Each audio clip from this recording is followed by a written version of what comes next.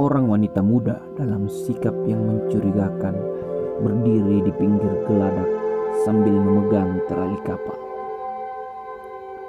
Dia tampak sedang bersiap-siap hendak melakukan upacara bunuh diri, melompat dari lantai kapal itu. Baru saja ada di antara anak buah kapal berusaha mendekatinya, mencoba mencegah perbuatan nekat itu.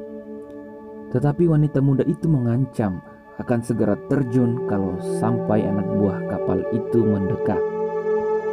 Dengan dalih agar bisa memotretnya dalam posisi sempurna, kudekati dia sambil membawa kamera. Aku berhasil memperpendek jarak dengannya sehingga tegur sapa di antara kami bisa terdengar.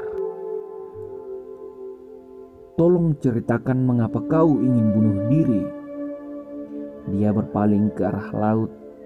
Ada pulau di kejauhan. Mungkin impiannya yang patah sudah tidak mungkin direkat. Tolong ceritakan biar ada bahan untuk kutulis. Wanita itu membiarkan sekelilingnya. Angin mempermainkan ujung rambutnya, mempermainkan ujung lengan bajunya. Dan tampak kalau dia telah berketetapan hati untuk mengambil sebuah keputusan yang nekat. Tiba-tiba dia melepas sepatunya, menjulurkannya ke laut. "Ini dari dia," katanya dan melepas sepatu itu. Sepatu itu jauh mendekati ombak. Kuabadikan dalam kamera. Kemudian dia meraba jari tangan kirinya. Di sana ada sebentuk cincin. Sinar matahari memantul mengantar kilaunya, mata berliannya membiaskan sinar tajam. Dikeluarkan cincin itu dari jari manisnya, diulurkannya melampaui terali, ombak yang liar menampar dinding kapal. Tangan yang menjulurkan cincin itu sangat mencemaskan. Ini dari dia, katanya, dan melepas cincin itu. Semua yang ada padaku yang berasal darinya akan kubuang ke laut. Sengaja hari ini kupakai semua yang pernah dia berikan kepadaku untuk kubuang satu persatu ke laut. Tak satu pun benda-benda itu yang kuizinkan melekat di tubuhku saat aku telah menjadi mayat di dasar laut. Biarkan aku tanpa bekas sedikit pun darinya. Inilah saat yang paling tepat membuang segalanya ke laut. Dari atas kapal yang pernah membuat sejarah pertemuan kami. Wanita muda itu mulai melepas kancing-kancing bajunya, melepas pakaiannya, dan membuangnya satu persatu ke laut. Upacara pelepasan benda yang melekat di tubuhnya dia akhiri dengan melepas bagian akhir tubuhnya, membuangnya ke laut. Apa pun yang berasal darinya tidak boleh ada melekat pada jasadku. Saat aku sudah menjadi mayat di dasar laut, biarkan laut membungkus jasadku seperti kain pembungkus mayat. Biarkan asin akhirnya menggarami tubuhku tanpa sehelai benang penyekat. Wanita yang telanjang itu mengangkat sebelah kakinya melampaui terali, bersiap-siap membuang dirinya ke laut. Kamera kubidikan ke arahnya. Di dalam lensa terhampar pemandangan yang fantastis. Wanita muda dalam ketelanjangannya berdiri di tepi geladak dengan latar ombak dan burung camar.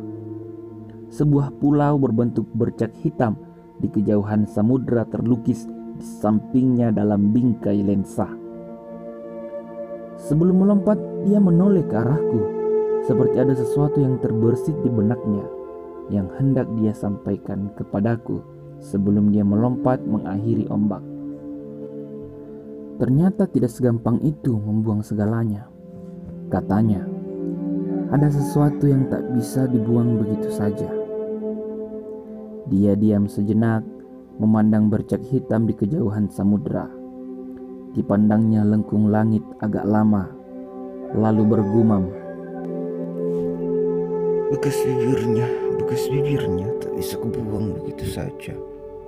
Dia berpaling ke arahku, tatapannya lembut menyejukkan. Lama dan agak lama mata itu memandang dalam tatapan yang mengambang. Maukah kau menghapus bekas bibirnya di bibirku dengan bibirmu? Katanya dalam nada ragu. Aku tersentak mendengar permintaan itu.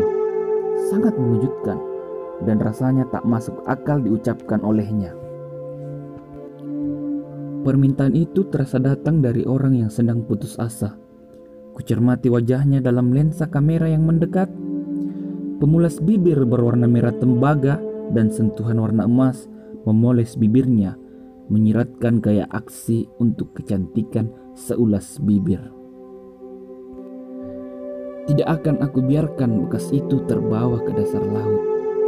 Maukah kau menghapus bekas bibirnya di bibirku dengan bibirmu? Tolonglah, tolonglah aku melenyapkan segalanya. Orang-orang yang terpaku di pintu geladak berteriak padaku. Lakukan, lakukan. Seseorang muncul di pintu lantai geladak membawa selimut terurai siap menutup tubuh wanita yang telanjang itu. Tolonglah, tolonglah aku menghapus segalanya. Jangan biarkan bekas itu tetap melekat di bibirku dalam kematian di dasar laut. Tolonglah. Lakukan, lakukan, teriak orang-orang yang menyaksikan dari pintu geladak. Aku hampiri wanita itu Orang yang membawa selimut itu berlari ke arah kami, menyelimuti kami dengan kain yang terurai itu. Di dalam selimut, ku cari daun telinga wanita itu. Masih adakah bekas darinya di bagian lain tubuhmu yang harus ku hapus dengan bibirku? Bisikku.